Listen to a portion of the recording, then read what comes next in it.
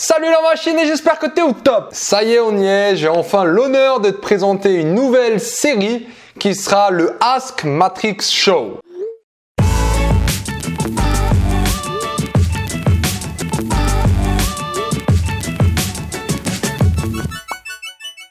Qu'est-ce que c'est et pourquoi surtout je suis en train de mettre ça en place? Alors déjà, d'où est venue l'idée? Tout a commencé sur Snapchat et maintenant ça s'est un peu étendu à Instagram où les élèves ont commencé à me poser des questions. Donc vraiment, est-ce que tu sais comment si, ça, ça? Et moi, je prenais vraiment le temps, et je prends encore le temps, pour leur répondre. Donc je leur réponds, donc j'écris pendant des heures et des heures, j'envoie des petits messages.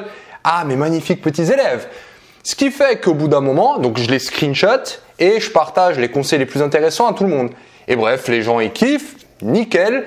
Et ce que je trouve un peu frustrant dans, on va dire, dans le texte, c'est que tu peux pas tout le temps aller en profondeur dans les réponses et surtout pas appuyer sur les points essentiels.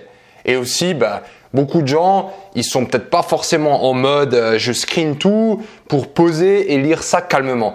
Du coup, je me suis dit, tiens, je pourrais faire un contenu sur YouTube où je répondrais aux questions les plus intéressantes ou disons les questions qu'on me pose. J'en sélectionnerai quelques-unes sur Snapchat, sur Instagram et aussi sur Twitter. Donc, ça sera avec le hashtag Ask Matrix Show. Et justement, j'essaierai de faire un, peut-être deux, si j'arrive à me chauffer, des épisodes par semaine où je pourrais vous donner le plus de, ou répondre en tout cas, le plus possible à vos questions. Voilà l'idée, tu verras que de manière générale, ça sera un rythme un peu plus chill.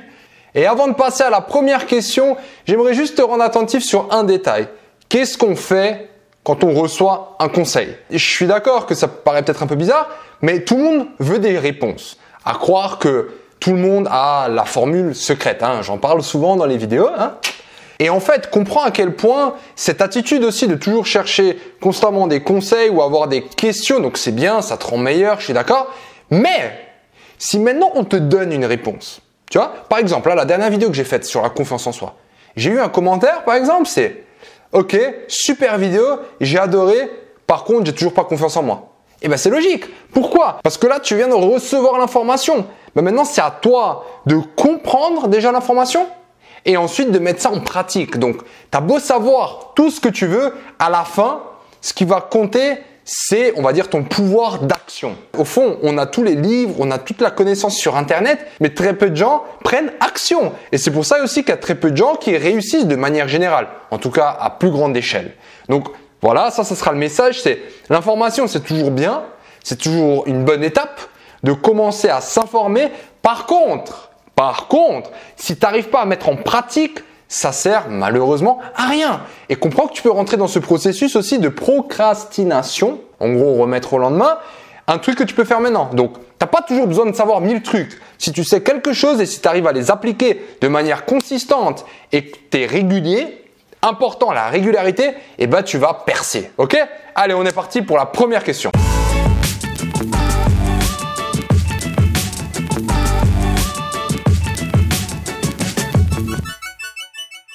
Ok, alors dans cette question, il y a déjà deux sous-questions. La première, c'est j'ai du mal à m'y mettre.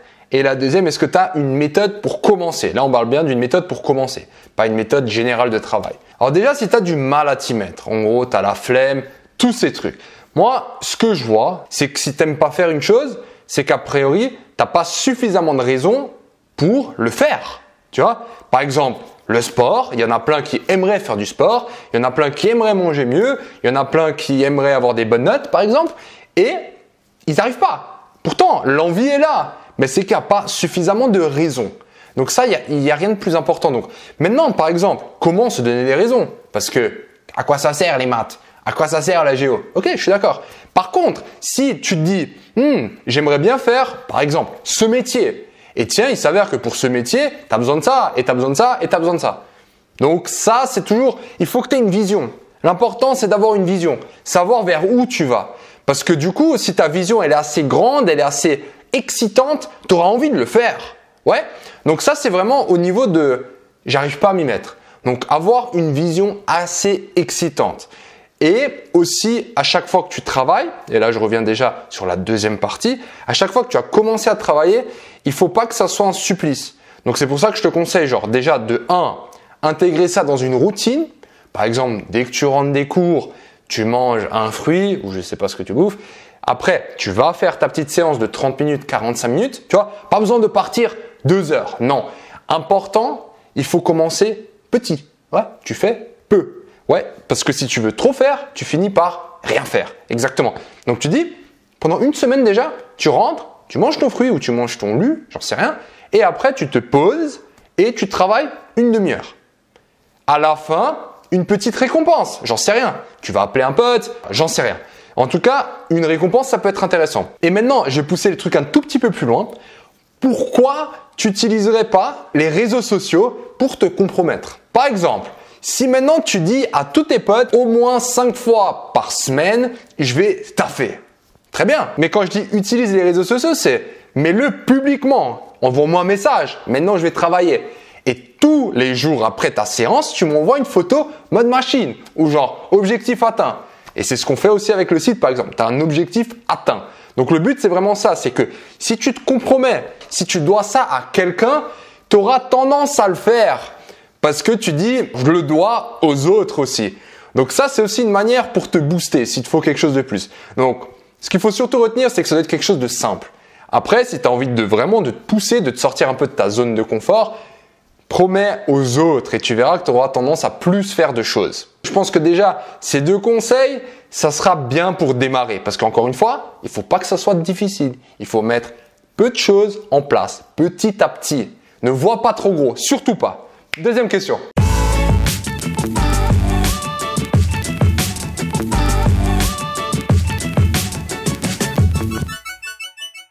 Ok, alors déjà, nickel, bien que tu sois dans la mentalité mode machine, ça montre avant tout que tu as envie, hein, il y a quelque chose derrière. En fait, l'idée c'est aussi ça, tu vois, par rapport à la question d'avant, c'est quand je dis il faut une vision.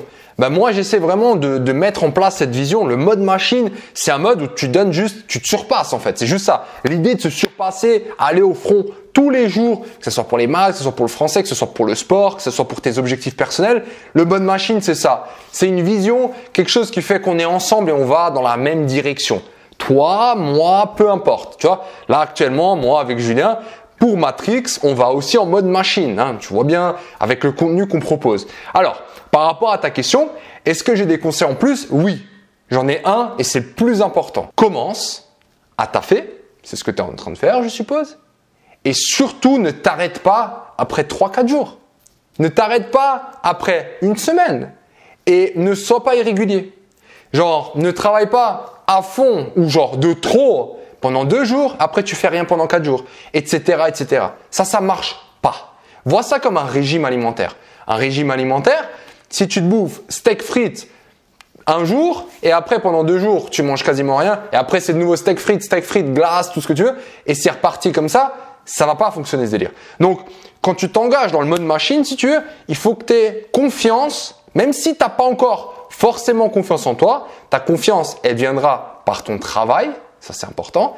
Donc même si tu n'as pas forcément confiance en toi, il faut que tu t'engages et que tu sois prêt à aller au-delà d'une semaine, de deux semaines, de trois semaines. L'idéal, c'est de faire un mois pour qu'une habitude se mette en place. Donc, une fois, alors pourquoi je dis ça? C'est parce que tu dois rester patient, patiente. C'est très important. Il ne faut pas croire que tu vas te mettre au boulot aujourd'hui et que demain, d'un coup, ouais, ça y est, j'ai 19, j'ai partagé ça à tout le monde. Non, il faut travailler très très longtemps. Hein et regarde autour de toi, genre, ça se trouve, il y a des gens, ils travaillent maintenant depuis 2-3 ans et maintenant, ils ont des bonnes notes. Toi, si tu débarques, même si tu as maintenant une super méthode, bah, les résultats peuvent mettre un peu de temps à venir. Mhm. Donc maintenant, si je vais prendre notre exemple en cas, Matrix, pendant 8 mois, un an quasiment, on n'avait euh, pas un commentaire par exemple, on n'était pas vu, il n'y avait rien de nous, tu vois. Et au bout d'un moment, tu vois les premiers résultats qui commencent à venir. Mais si tu as une vision assez longue, si tu vois long terme, disons, en tout cas moyen terme, et si tu crois dans le travail dans lequel tu fais, tu crois que tes efforts vont payer, tu vois que la qualité, que ta méthode de travail est bonne, tu peux t'attendre à des résultats. Ouais. Donc ça, c'est vraiment mon conseil, genre, engage-toi et sois prêt que ça va peut-être prendre un peu de temps. Donc anticipe ça. Anticipe. Le but, encore une fois, c'est de te donner les meilleures méthodes pour que ça aille plus vite. Mais voilà, des fois, c'est un peu plus long. Donc voilà les gars, l'épisode numéro 1 d'une longue série où je vais bah, tout le temps essayer de faire de mon mieux pour répondre à vos questions. Pour poser des questions, il y a trois manières. On va aller sur Insta, on va aller sur Snap et on va aller aussi, allez, on va lancer le Twitter. J'en profite. Donc c'est Ask Matrix, hein, hashtag AskMatrix. Posez vos questions. Comme dit, vu que c'est un format un peu plus léger aussi pour moi au niveau du montage, parce que pour ceux qui me suivent, vous savez que le montage, ça prend du temps. Donc si je fais un format un peu plus léger comme ça, je pourrais aussi répondre plus souvent. Il fera plus de vidéos et plus de contenu que je peux vous partager. En attendant, merci aussi pour tous ceux qui m'ont encouragé à faire cette émission. Et pour les autres, bah, mets un petit commentaire ou écris-moi sur les réseaux sociaux. Partage cette vidéo auprès de tes potes. Et comme d'habitude, pour bien finir, à bientôt